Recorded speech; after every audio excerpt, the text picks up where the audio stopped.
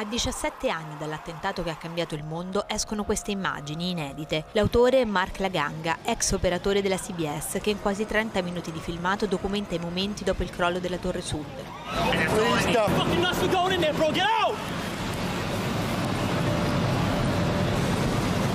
Nuvole di polvere, l'atmosfera spettrale, il fumo, persone in fuga, i soccorritori stravolti che arrancano tra i detriti cercando ancora qualcuno da salvare. Be fine. Don't worry, don't worry.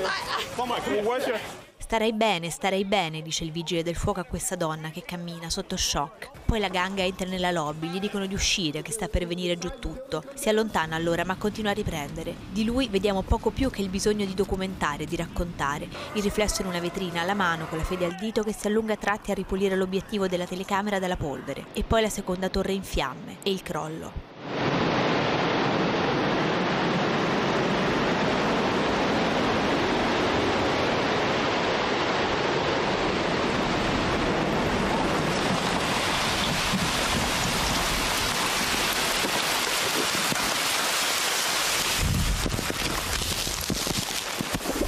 Lo scenario dopo il crollo della seconda torre, uomini coperti di polvere che emergono come statue dal caos e un monumento silenzioso ai soccorritori che continuano a tornare indietro tra il fumo e le macerie. Delle 2700 vittime di quel giorno, 412 stavano prendendo parte alle operazioni di soccorso, 343 erano vigili del fuoco.